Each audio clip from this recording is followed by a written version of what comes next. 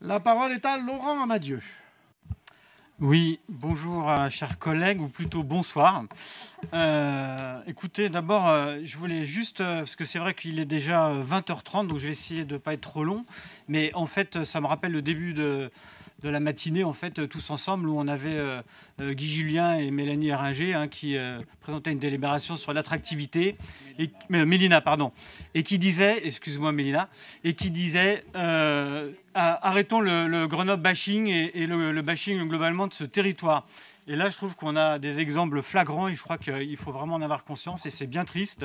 Et d'ailleurs, j'étais aussi la semaine dernière à un copil sur l'attractivité et le tourisme et tous les acteurs en fait touristiques de, ce territoire-là le disaient qu'il fallait arrêter, qu'il fallait voir devant et il fallait plutôt parler de Grenoble capitale verte plutôt que d'autres choses.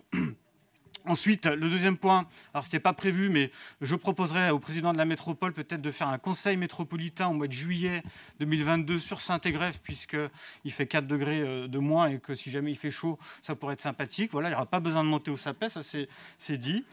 Ensuite, euh, moi de ce que j'ai entendu finalement, c'est que globalement, euh, on est tous plus ou moins contents, malgré ce qu'on vient d'entendre, mais en fait, ça va quand même dans le bon sens. Donc, il y, a une prise de conscience que le végétal a une, valeur, que cette valeur-là, elle n'était pas tout à fait reconnue. Elle était reconnue avant quand on coupait des, arbres et puis qu'il y avait la filière papeterie, etc. Aujourd'hui, on reconnaît aussi l'utilité et sa valeur, ses autres valeurs, et ça, c'est vraiment important. Donc le groupe Puma se réjouit euh, complètement hein, de ce plan canopé métropolitain pour cette période 2022-2026. Euh, comme ça a été dit, il devrait continuer à, au moins à ralentir la hausse des températures de notre Y grenoblois dans nos villes et aussi dans nos bourgs urbanisés, et euh, particulièrement dans les périodes de surchauffe estivale. Nous partageons donc les objectifs hein, qui visent à renforcer la présence de l'eau, du végétal, à désimperméabiliser nos sols. Et ce plan, donc, il est, comme ça a été dit par les vice-présidents, il est euh, ambitieux. Oh, j'ai perdu ma souris. Attendez. Voilà. Il est ambitieux. Euh, on va voler ma souris. J'ai mon texte.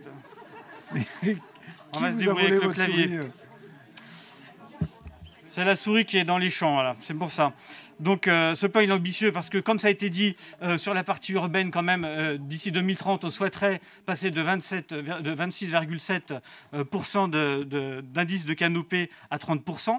Et on vise aussi dans la délibération 40% d'ici 2050. Donc c'est un objectif un peu lointain, mais qui est quand même non négligeable et qui est un peu l'objectif idéal à atteindre.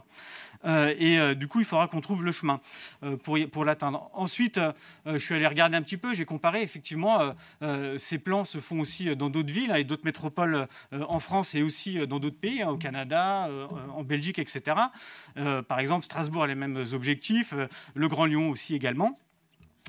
Il y a aussi cet objectif d'infiltration, de, meilleure infiltration des eaux avec 30% minimum de zones perméables qui est aussi importante pour les nouveaux stationnements et 50% pour les parkings de plus de 500 mètres carrés.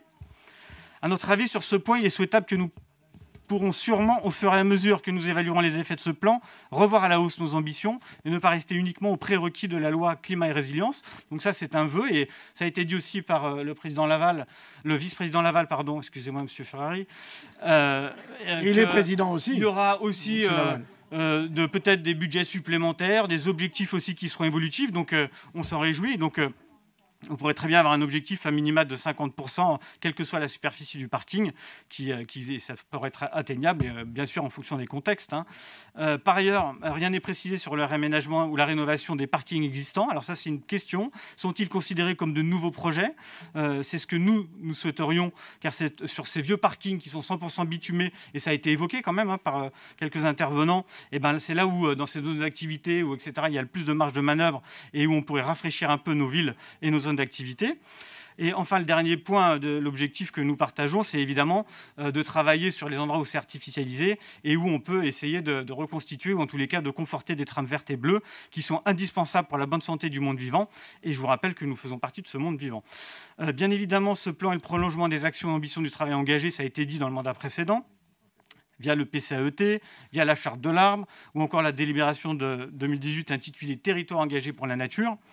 De même que ça a été évoqué aussi, euh, le PLU, via son PADD, surtout l'introduction de loi pays paysage, euh, à participer aussi à introduire la nature et la, végétalisation euh, dans nos schémas directeurs, et a fortiori commencer à prendre en considération la canopée.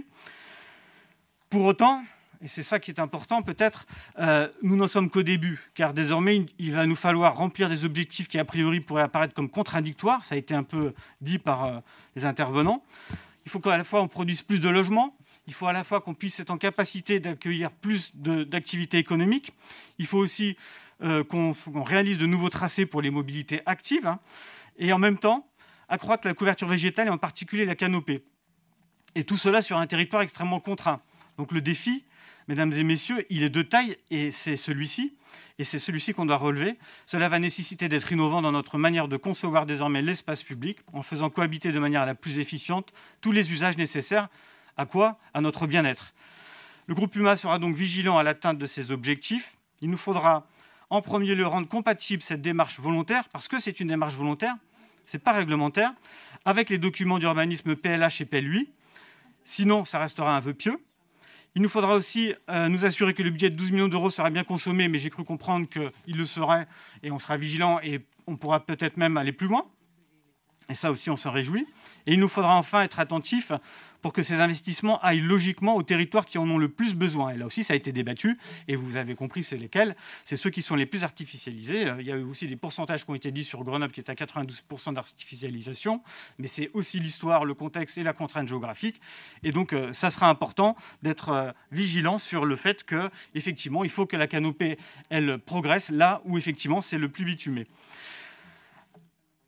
À ce titre, je vous invite à consulter le travail remarquable réalisé par le Grand Lyon, qui a cartographié l'indice de canopée par commune du Grand Lyon, et l'a comparé avec d'autres indicateurs comme le taux de mortalité par maladie vasculaire, les niveaux de bruit et de pollution, les niveaux de température et l'indice de défaveur sociale. Les résultats sont, édifiants. Là où la, canopée est la plus importante, c'est là où on vit le mieux. J'ai les documents, je peux vous les donner, vous verrez, c'est extrêmement intéressant. Je ne sais pas si les services de la métropole ont réussi à faire ce travail-là, mais euh, c'est vraiment parlant et il n'y a pas besoin de neuf pages de délibération pour comprendre pourquoi il faut de la canopée. Et franchement, euh, je, vous invite à vous pouvez le trouver sur, Internet. Donc vous aurez compris, euh, nous prendrons notre part. Nous allons voter évidemment cette délibération.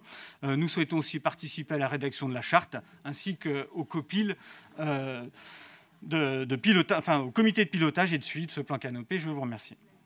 Merci beaucoup. Il y a deux demandes de prise de parole. Il n'y en a pas plus. Je vois euh, Nicolas Pinel.